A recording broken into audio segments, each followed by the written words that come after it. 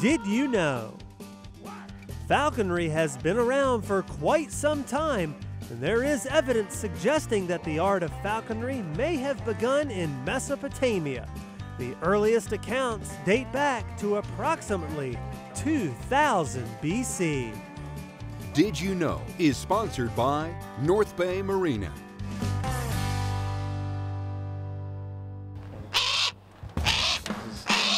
Nina likes to talk before she goes out. After Grace, the red-tailed hawk, does her thing, it's time for the Harris Hawks to show what they've got. Pat and Michael Moreland are flying Nina and Sting, and they're hunting for rabbits. But there's a new member of the Harris Hawk hunting team, and she doesn't have wings. I put on her tracking collar. This is Maya, a young Jack Russell Terrier who's on her second season of hawking. She'll go into the briars, kind of serves as a, uh, you know, better brush beater than us. So she has a nose, so she'll find them, and then now the birds will um, follow her, and when she starts, you'll hear, hopefully, if she gets a rabbit and she's on one that's hot, it'll, you'll start hearing her um, make these like yipping noise, and the bird will actually fly right over top of them.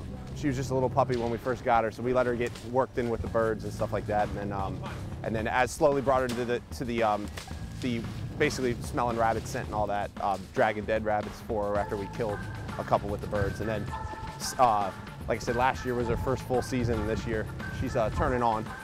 So still learning, but she's doing well.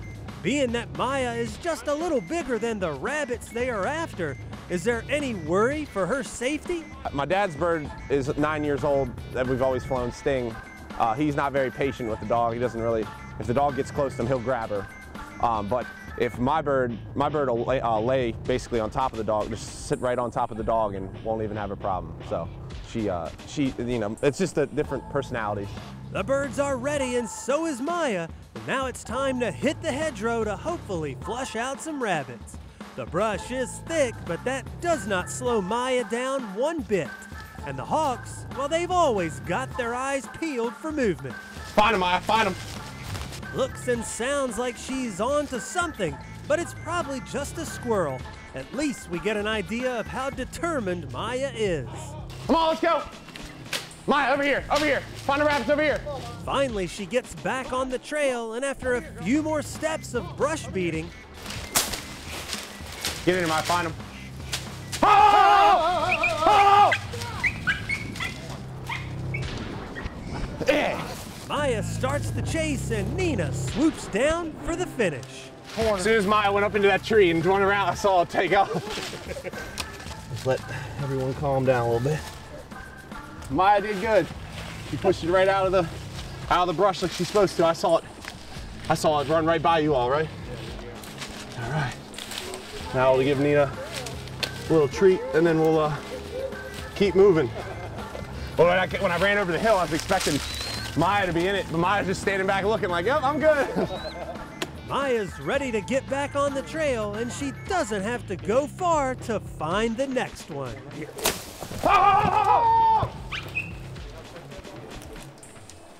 Oh, wow, he came back. Oh, oh wow.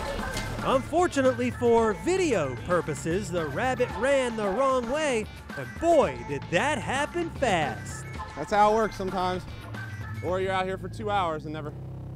I jumped it and she uh, just chased it. And uh, Nina's on her A game today, making good shots. Showing no signs of slowing down, Maya gets back in the brush, occasionally getting a scent, but no more rabbits to chase down. She was able to find a couple, and uh, the birds did their job, so that worked out. And Maya did her job. She's a tough dog. She loves to hunt. This is what she loves to do.